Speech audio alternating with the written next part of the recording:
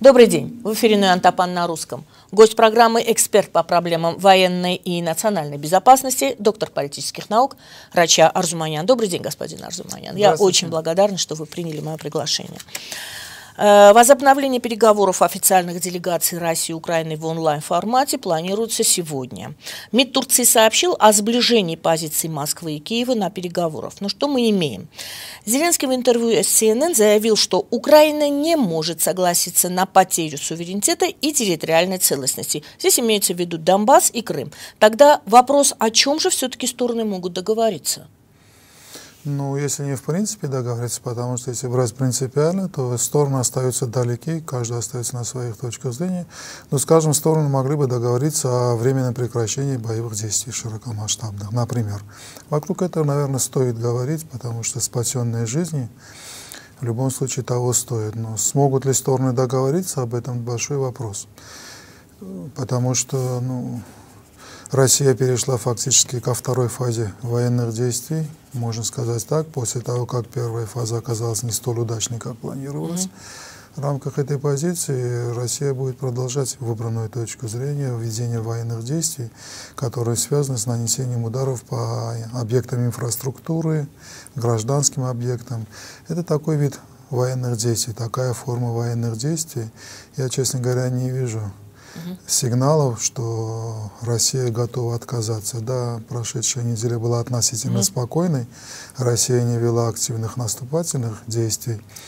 Но, скорее всего, речь идет о перегруппировке сил и подготовке следующая фаза, уже третья, получается, ведение военных действий. Я так все-таки вижу ситуацию. Хотя раздается точка зрения, что Россия уже не в состоянии вести наступательные военные действия. В любом случае, пока что военные действия и остановка военных действий в любом случае для России будет в некотором смысле восприниматься как поражение потому что Россия, получится, приостановила военные действия, не достигнув каких-либо внятных целей, которые можно было бы представить своему обществу в качестве победы. То есть вопрос опять останется в подвешенном состоянии, даже если будет договоренность о прекращении войны. Даже если есть... будет, конечно, будет подвешен, но я не вижу, чтобы это тоже состоялось. В данном случае я вижу только одну выигравшую сторону во всем этом. Это Турция, которая да. повышает свою значимость в качестве стороны, которая в состоянии быть посредником в таких сложных переговорах. Роль Турции растет в этом плане, как и Израиля, который тоже предпринимает усилия по наведению мостов между воюющими странами. То есть дипломатическая линия, я бы говорил о победе, точнее не победе, а повышении удельного веса Турции. Наверное, Турция и Израиль достаточно высокий, не нуждается в этом, наверное. Если э, говорить о Турции, то давайте коснемся вот этой темы, которая еще, я так думаю, э, непонятно, как себя будет вести Турция в этой ситуации. Есть информация, что США предлагают Турции отдать Украине российские С-400 в обмен на возвращение Анкары в американскую программу производства истребителей F-35 э, и снятие санкций против самой Турции. Турция пока отмалчивается. Американская пресса открыто, э, очень активно обсуждает эту тему. Как, ваш, как по-вашему, пойдет ли на это Эрдоган? Ведь Байрактар и прочий военный экспорт все-таки вырос из Турции в Украину. Как насчет С-400? Проблема сложнее. Мы должны помнить, что Турция страна, у которой достаточно богатые государственные традиции, традиции дипломатии. То есть в данном случае рассуждать только в рамках военной, а угу. военного аспекта у нас не получится. Все слышали и помним выражение «турецкая дипломатия». Можно вспомнить, как Турция себя вела во Вторую мировую войну. Она до последнего не принимала ту или иную сторону. В 1944 году, когда было ясно, какая сторона побеждает. Угу. Турция в течение, в кавычках, несколько одного дня резко определилась и встала на сторону победителей. То есть Турция, турецкая дипломатия будет становиться на сторону победителя. И все, что было до этого, все сотрудничество с Россией или Западом может быть отринуто и положено в сторону. Конкретно С-400. С-400 становится элементом дипломатии. Если Турция увидит, что Россия проиграла, то может пойти С-400, могут быть другие активные шаги. У Турции достаточно рычагов воздействия на Россию и получение преференций на Западе. И там, и там у нее присутствуют интересы. И, и рано или поздно Турция сделает выбор, в зависимости от того, как заканчивается данная война.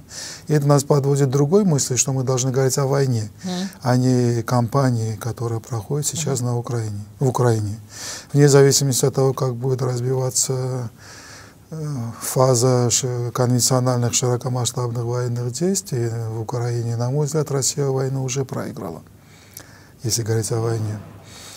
Потому что можно здесь вспомнить, наверное, слова Лидела Гарта, автора, родоначальника стратегии непрямых действий. Э, Лидер Гарт говорил, что целью войны является лучший мир. То есть вы начинаете войну для того, чтобы достичь для себя хотя бы состояния лучшего мира, чем у вас было до войны. Если подходить с этой точки зрения, то Россия уже точно не получила мир, который был бы лучше, чем до войны. В этом плане Россия полностью проиграла. Она попала под санкции, которые не виданы в истории до сих пор. И а уровень жестких санкций, в этом плане Россия уже получила мир, который гораздо худше, чем до начала войны. Она уже проиграла мир и проиграла войну. В этой ситуации я думаю, что Турция рано или поздно склонится окончательно в сторону Запада. Но после того, как будет достигнут перелом, до последнего дня Турция будет играть на обоих угу. весах и будет получать преференции как со стороны России, и, э, так и со стороны Запада. Это нормальная дипломатия. И в этом плане С-400 всего лишь тема, которая показывает России возможности Турции – и разыгрывается карта России турецкой дипломатией, скажем так. Она не будет комментировать до последнего, mm-hmm. но будет показывать России, что у нее есть методы воздействия, требуя взамен каких-то преференций для себя. И то же самое будет происходить на Западе. Турция будет и разыгрывать карту С-400, которая из большой больной темы для. Турции превращается в возможность. Ну, то есть то, что делает Турция на протяжении вот последнего периода все время? Да, это черта турецкой дипломатии. Они будут блестяще разыгрывать эту партию. Э, есть мнение, что Анкара может при отказе что-то потребовать, попросить взамен у Москвы. Естественно, то есть э, для того, чтобы не произошла окончательная реализация, Турция будет что-то просить. Турция может просить в нашем регионе, может просить в Средиземном море, может просить некоторые другие преференции. Это нормальное отношение страны, которая четко отслеживает, понимает свои национальные интересы, их отслеживает. В этом плане у меня нет никаких претензий к Турции. Турция прагматично, адекватно складывающаяся ситуация. И как рыба в воде в такой ситуации, Не, в принципе. Может быть, да, сказать, она остается адекватной. Говорить, что она так к стенке ее. То есть я могу объяснить поведение Турции, но я не могу объяснить поведение России. Поведение России, российских политиков является идеологизированным, исходит из идеологии, но не исходя из политического прагматизма, не исходя из логики политических действий. Объяснить войну в терминах политики со стороны России у меня, к сожалению, не получается. Есть вот такая оценка специалистов, э, российских специалистов. Они говорят, никогда ранее, как сейчас по Украине, не работали столь слаженно все составные части Совбеза. Армия, ФСБ, Росгвардия. Как вы оцениваете ход войны? Какой мы увидели Украину? Какой мы увидели Россию? Неужели э, действительно вы согласны, что они, армия, ФСБ, Росгвардия, очень слаженно работали в этой войне? Не думаю. Или работают? Не думаю. Это родимое пятно, черта всех авторитарных систем. Угу. В авторитарных системах жестко иерархичных, таких, угу. которые сейчас в России, спецслужбы и армия всегда бывают в плохих отношениях. Угу. Правители, выстраивая здесь балансы угу. власти, ни в коем случае не разрешают и для того, чтобы среди спецслужб и армии было какой-то консенсус. Это нормальное состояние, которое свойственно всем авторитарным государствам. Поэтому говорить, что сегодня силовики России работают слаженно, это наверняка не так. У меня, естественно, нет информации непосредственно из нет, служб, то, что мы видим. Но не то, что мы, то, что говорит системная наука, то, что говорит история, да. можно вспомнить нацистскую Германию mm-hmm. и так далее. У авторитарных систем проблема – в том, что силовики не могут договориться между собой, в кавычках силовики, и они конкурируют за доступ к телу фюрера, лидера, угу. э, вождя. И в этой борьбе они никогда не договариваются. Они скорее будут до последнего перегрызать друг другу горло. Одна из причин, почему нацистская Германия терпела поражение военное. Потому что недостаток информации, конкурирующая информация, э, искажение информации в таких системах приводит к таким результатам. Поэтому я вижу скорее несогласованность действий, потому что тот результат, который мы видим на поле боя, не позволяет говорить о слаженности. Что касается Украины, я бы сказал, что в эти дни я вижу, как рождается украинская нация. То есть, если был украинский народ, была Киевская Русь, украинский народ, есть история, но сейчас в эти дни происходит рождение нации. Mm-hmm. То есть народа, общества, которое в состоянии построить национальное государство, современное национальное государство, а не архаическое или являющееся результатом развала империи. Угу. Я вижу, что украинское общество объединилось вне зависимости от того, каково этническое происхождение и прочее, прочее. Я вижу там воюющих русских, воюющих армян, других греков и так далее, которые воюют за Украину. И уже этот результат можно назвать победой когда в главе с президентом, который является другой национальности, общество оказывается в состоянии объединиться для того, чтобы защитить честь, флаг, присяга своего государства. И в этой борьбе обычно и происходит рождение нации. Это достаточно большое достижение, надо сказать, для Украины.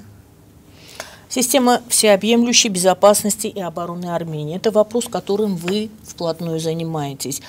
У вас есть формула всеобъемлющей безопасности и обороны Армении? Но это не моя формула, это формула, которая выкована на протяжении десятилетий, даже столетий э, военной мыслью э, западных стран, скажем так, стран Запада, и не только Запада, это более широкая сейчас. И эта формула, естественно, существует. Речь идет об адаптации этой формулы. И сейчас на примере украинской войны мы можем видеть наглядно, каким образом, насколько это является важным, потому что в результате военных действий, которым мы сегодня, большая роль принадлежит системе территориальной обороны, силам территориальной обороны Украины, которые оказываются достаточно эффективными для того, чтобы сорвать наступление противника. Действия данных сил, сил территориальной обороны, поддержаны, естественно, западным оружием, то есть противотанковыми комплексами, противоракетными, mm-hmm. зенитными комплексами, джевелинами, стингер и так далее, и так далее. Да, они имеют вооружение, но эти отряды действуют, они эффективно уничтожают mm-hmm. систему обеспечения российских войск. И вот сегодня в той результат войны, когда война продлилась не три дня, а уже более трех недель, это является большое достижение системы территориальной обороны. И, естественно, Армения должна выстраивать свою систему территориальной обороны. Армения, она традиционно уже называется Ашхаразором. Эта система будет выстроена наряду с другими элементами всеобъемлющей системы безопасности, ну, гражданская оборона и прочее, прочее.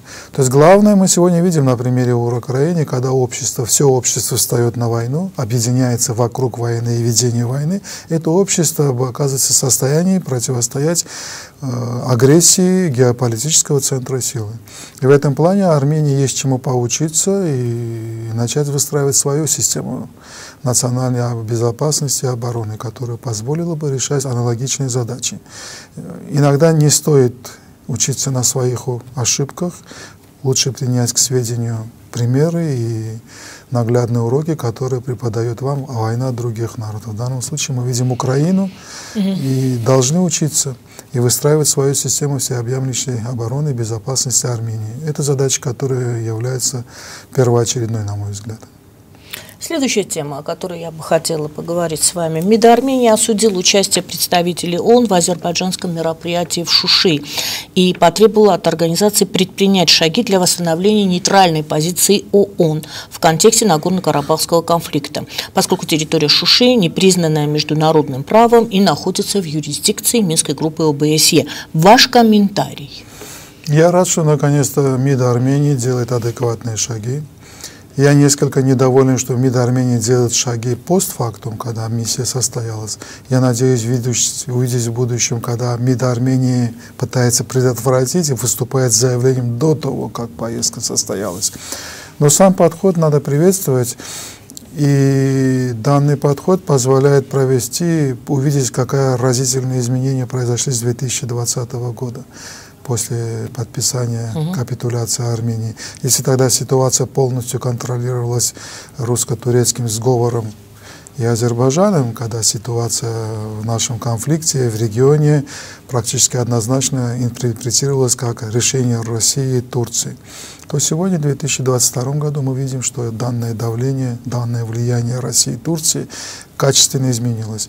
Запад снова заявил о своих правах и о своих возможностях в регионе, и международное сообщество заявило о своих правах и возможностях, когда проблемы, Нагорно-Карабахская проблема, как международная, снова обсуждается в рамках Минской группы ОБСЕ, об этом говорит Запад, но не в рамках 3 плюс 3 и прочих форматов, которые пытались навязать региону Армении, Россия с Турцией. Мы видим, что происходят изменения, вызванные в том числе войной в Украине. Я, я рад, что МИД Армении наконец-то начинает реагировать. Но я надеюсь, в будущем армянская дипломатия будет более активной, более жесткой, более агрессивной. У армянского народа, у армянского государства появилась возможность проводить свою собственную политику и свою собственную дипломатию. Наконец-то эта возможность предоставляется. И Если раньше мы были в да. глубокой обороне, боролись за Зангензурский, прошу прощения, коридор и прочие навязанные темы, которые угу. нам навязывались жестко военными методами, то сейчас появляется возможность работать и в плане дипломатии. И в этом плане я хотел бы, чтобы армянская дипломатия была бы более активной. Сделанный шаг правильный, повторюсь, но он запоздал, но он сделан. В следующий раз надо пытаться предотвращать данные действия и быть более жесткими, не бояться жесткости. Азербайджан уже не тот, Россия уже не та и Турция не та. Наш небольшой локальный в кавычках армяно-азербайджанский конфликт вписан региональный контекст России, Турции, Ирана, Южного Кавказа, который вписывается в геополитический контекст, в котором присутствует и украинская война. Ситуация в мире изменилась, и армянская дипломатия имеет возможность быть более жесткой и агрессивной. Следующая тема. В Ереване прошли акции вначале в поддержку России, потом в поддержку Украины. Ваш комментарий. Я думаю, это нормально. Один из э, симптомов того, что армянское общество достаточно здоровое. У нас никто не стал разгонять ни первый митинг, ни второй митинг. Оба митинга были проведены без каких-либо больших нарушений и прочее, прочее. И общество имеет возможность смотреть, выбирать, власть имеет возможность смотреть, выбирать. Если на митинг поддержку России собрались в основном старшее поколение, 65-70-летние mm. люди, помнящие Советский Союз, пели советские песни детские, то на втором митинге по большей части собралась молодежь, собралось будущее. В этом плане мы здоровое общество. Мы не применяем насилие по поводу группы лиц, которые имеют другую точку зрения, если они не переходят какие-то грани, которые должна отслеживать, естественно, служба национальной безопасности Армении. На мой взгляд, это хороший симптом нашей адекватности, нашей способности быть адекватными и не придвигать к жестким мерам, когда этой необходимости нету. Наверное, столько. Спасибо. Рассмотрим иранскую тему. Она тоже очень важная. Ведь последние дни особенно много информации относительно Ирана, позиции Ирана. Премьер-министр Израиля Беннет считает, что Байден хочет договориться с Ираном любой ценой. В прессе проскользнул даже такой комментарий. Турция сегодня является сверхдержавой в регионе, пока Иран не стал союзником США. Насколько это возможно, чтобы Иран стал союзником США после всего того, что произошло между ними? Ну, такое, наверное, возможно, потому что до исламской революции в Иране в 1979 году. Иран был ближайшим союзником Соединенных. Штатов Америки и Израиля. То есть сказать, что такого не было в истории Ирана, нет, такое было. Состояние ли нынешний Иран э, трансформироваться и стать союзником, в любом случае сохранятся внутренние глубинные противоречия. Но на уровне политических интересов вполне возможно, что Иран с Соединенными Штатами Америки договорятся, прагматично договорятся. Потому что у Ирана есть ресурсы, которые нужны Соединенным Штатам Америки. Mm. Соединенные Штаты Америки тоже могут предложить Ирану снятие санкций mm. и так далее. И стороны могут прийти к за, каким-то соглашениям, но я думаю, глубинные проблемы, которые лежат в основе различного понимания мира Соединенными Штатами, Западом и Ираном, mm-hmm. они останутся. И они останутся достаточно долго. Но это глубинные проблемы. Да, сегодня Иран с Россией, Соединенными Штатами могут и Западом могут договориться. Но на сегодняшний день, сегодня я сейчас пока что не вижу таких симптомов, что это возможно. Не только, не только фактор э, Израиля, который является достаточно mm-hmm. сильным, но имеется несколько других таких достаточно глубинных процессов, которые приводит меня к выводу, что быстрого соглашения ждать все-таки не, при, не приходится. Не будем упоминать фактор России, которая уже заявила, что она наложит вето в кавычках угу. на любые решения о соглашении с Ираном Соединенных Штатов Америки, но это в кавычках техническая проблема. Помимо технических проблем, связанных с Россией, у Ирана достаточно сложный период времени. Иран должен согласовывать свои шаги с Китаем, с Россией, угу. прежде чем эти соглашения с Соединенными Штатами Америки. А поведение России с этой войной, непонятной войной, я думаю, она ставила в сложное положение не только Запад, не только народ Украины, но и Китай, Иран, которые не были готовы к такому стремительному развитию событий. И Си Цзиньпин, и лидер Ирана сейчас должны решать сложную и случайно неожиданно возникшую проблему неадекватного поведения господина Путина. Вот такой риторический вопрос опять из, анали... Э, из комментариев, из э, мыслей, так скажем, аналитиков. Оправдается ли ставка США на Иран в качестве поставщика энергоносителей вместо России? Но место России могут занять и потихоньку занимают другие. Угу. Иран, только Иран, Иран не является незаменимым в этой задаче, в этом уравнении. Сегодня уже предпринимаются шаги, которые со временем сделают нахождение России на европейском рынке газа и нефти не столь э, сильным и давлеющим, как это является сегодня. Mm. Эту задачу Соединенные Штаты и Запад решат в любом случае. С Ираном их будет решить проще. Без Ирана они в любом случае будут решаться, поэтому я бы не стал привязывать э, иранскую проблему только к нефти и газу. Иран более большая проблема. Иран является доминионом, гегемоном mm. Ближнего Востока. У Ирана ядерная программа, у Ирана ракетная программа, у Ирана широкое присутствие в Ближнем Востоке в форме регулярных э, подразделений и прочее, прочее.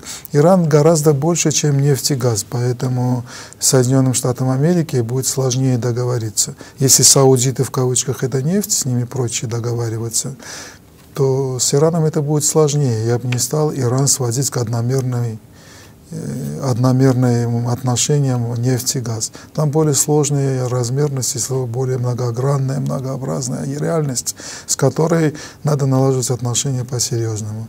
Это требует изменений как в Иране, так и в Соединенных Штатах Америки. Давайте подведем итоги. Высвечиваются ли уже новые политико-экономические изменения миропорядка или еще все в стадии брожения? Нет, пока еще рано об этом говорить. Можно говорить о том, что тот миропорядок, который был до Э, агрессии э, России против Украины, этого миропорядка уже нет. То есть э, агрессия, война, вторжение, которое начал господин Путин и Россия, подвели действительно уже черту под постсоветским периодом который сложился после коллапса Советского Союза. Будет формироваться новый миропорядок. И сейчас мир находится на фазе транзита, переходного периода к новому миропорядку. Но специфика этого транзита в том, что сегодня говорить о том, какой это будет миропорядок, не получается. То есть мы находимся в процессе перехода, но куда мы придем, как мир, сегодня сказать невозможно. Есть несколько вариантов, есть несколько сценариев, и в какой будет выбрано это определиться в точке бифуркации, точке раздвоения, где можно выбирать системные тренды. На сегодняшний день я вижу, что миропорядок, за которым стоит Соединенные Штаты Америки, Запад условно, не условный, mm Запад все-таки имеет больше шансов удержать тот миропорядок, который у них был и который они сейчас трансформируют.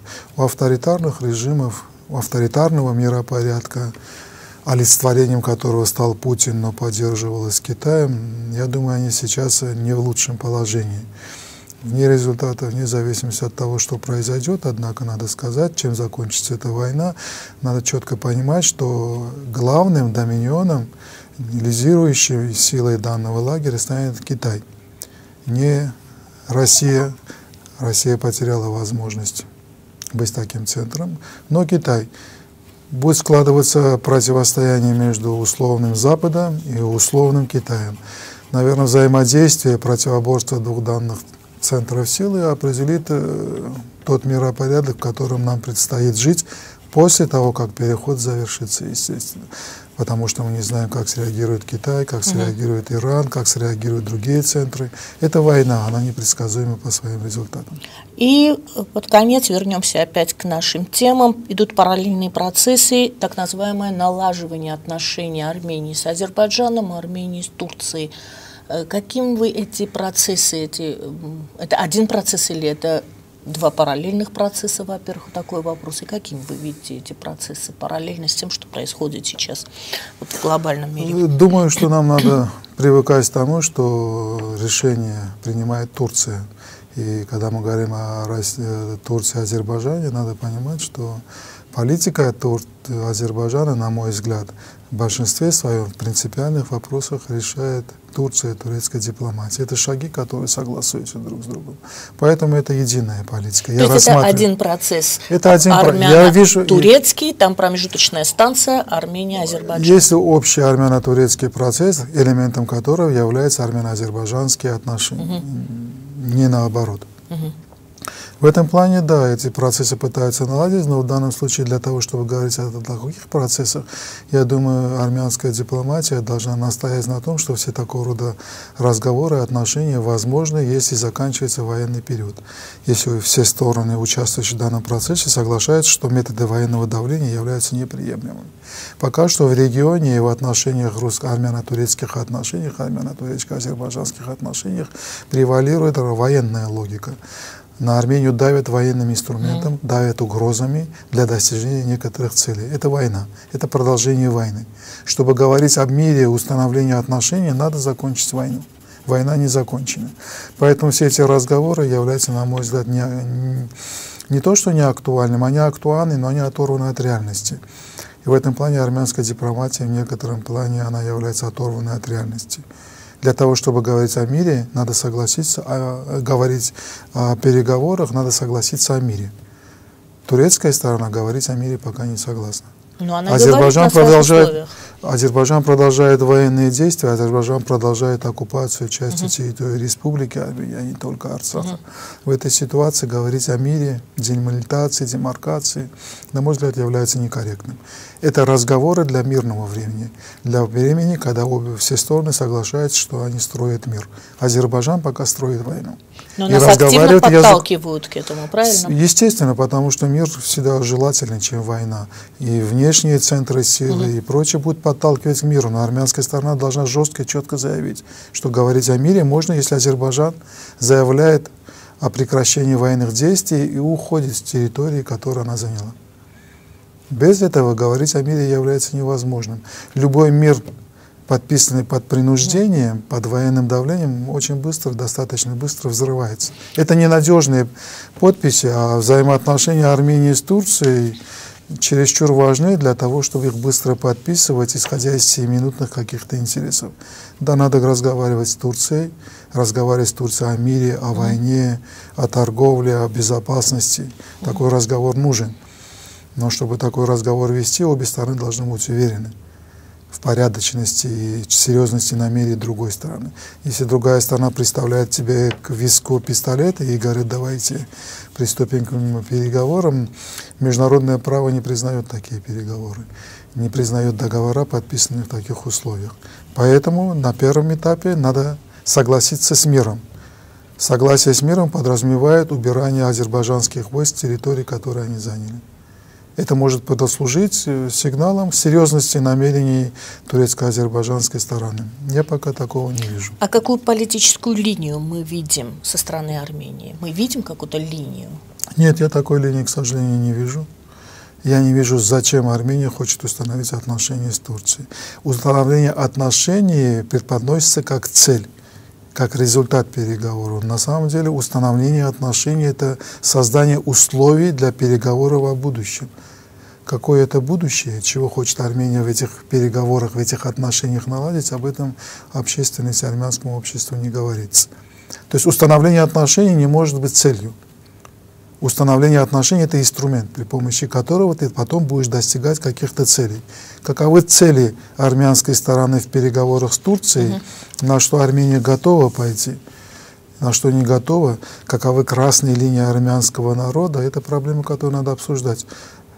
Потому что граждане Республики Армения и Арцаха это не, не единственный кусок армянского народа. Проблемы взаимоотношений армянского народа с Турцией шире, чем взаимоотношения государства Армении государства Турции. Армянский народ должен достигнуть консенсуса внутри угу. себя для того, чтобы затем говорить с Турцией. Я таких дискурсов, таких обсуждений в армянском обществе не вижу. То есть политическую линию мы не видим властей, а к чему готовят общественность Армении власти? Точнее, я вижу политическую линию установить отношения. Так. Зачем установить отношения? К этому готовят ну, наше Пытаются готовить, но не давая ответ, зачем это нужно.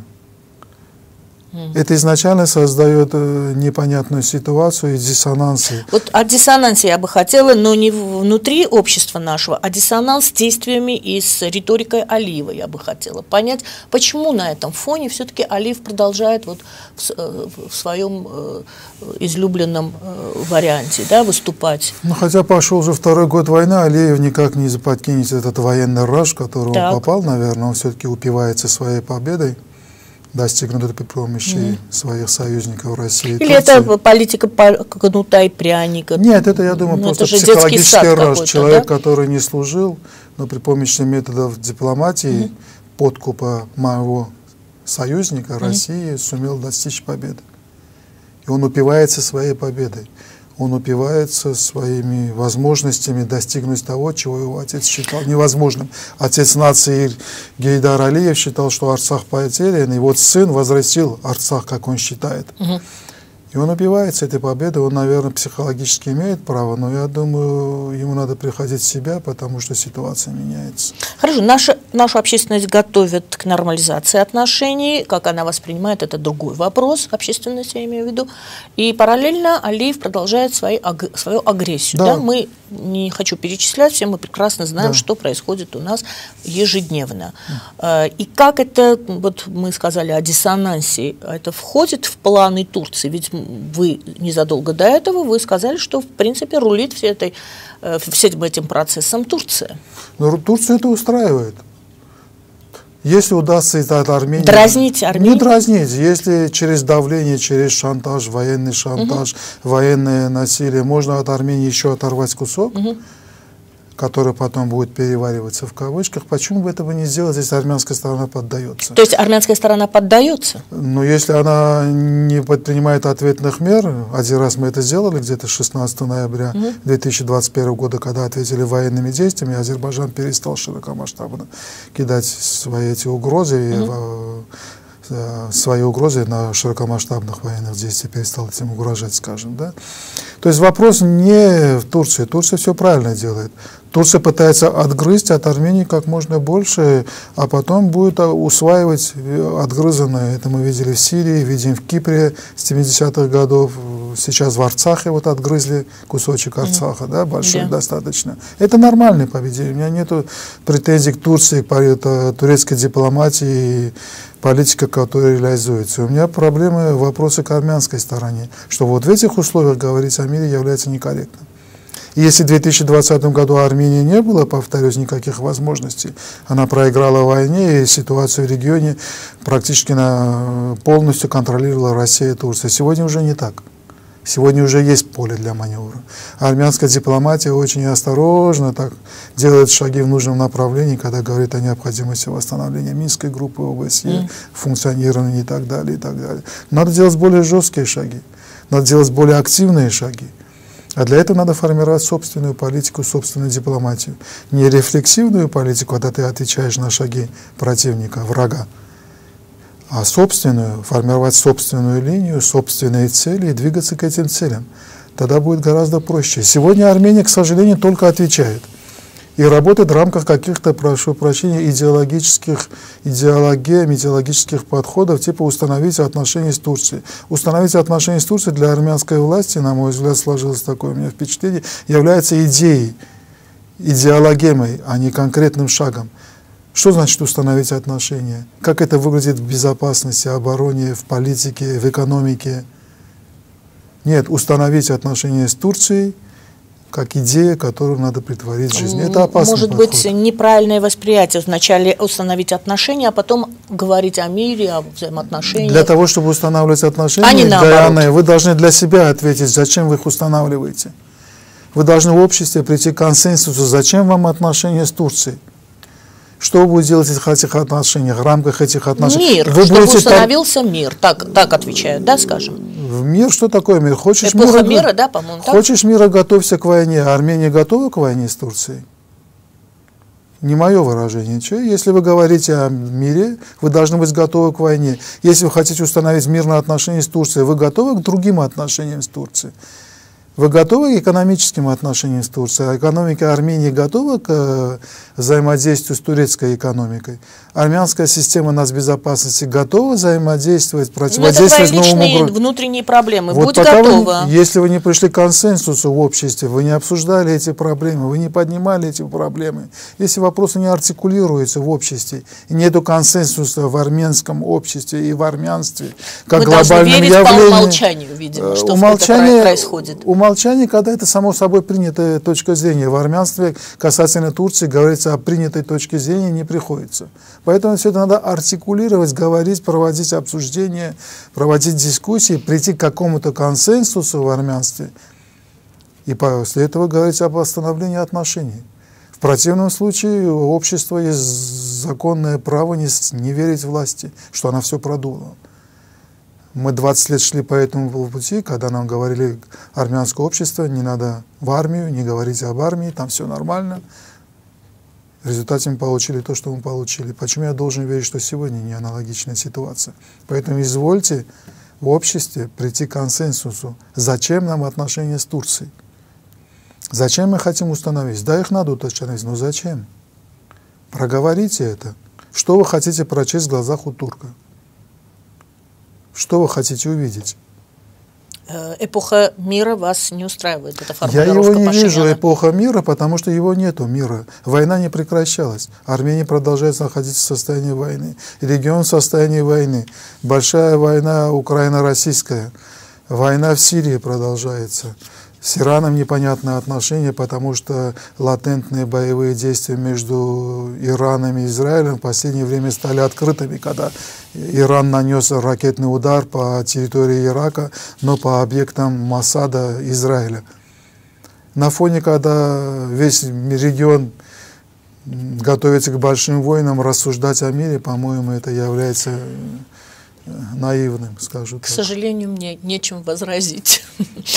Я пыталась возразить, но на этом кончилось. Ну, спасибо вам большое. Будем э, посмотреть. Спасибо, Галина. Спасибо всем, кто следил за нашей беседой. Я думаю, все-таки мир восстановится, хотя очень сложно. Э, вот Зеленский, простите, вот этот вопрос я не, э, с вами не обсудила.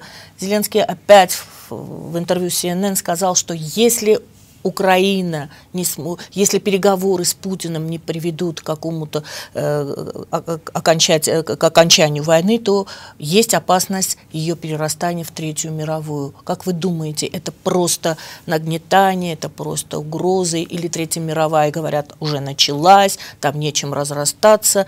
Вот о Третьей мировой тоже пару слов, ваше мнение. Ну, это все сложная интерпретация, зависит от масштаба времени. Если продолжить мысль Зеленского, я тогда могу сказать, что Третья мировая началась в 2020 году в Арцахе. В Арцахе. Можно сказать и так. Или можно сказать, что война началась в 2016 году.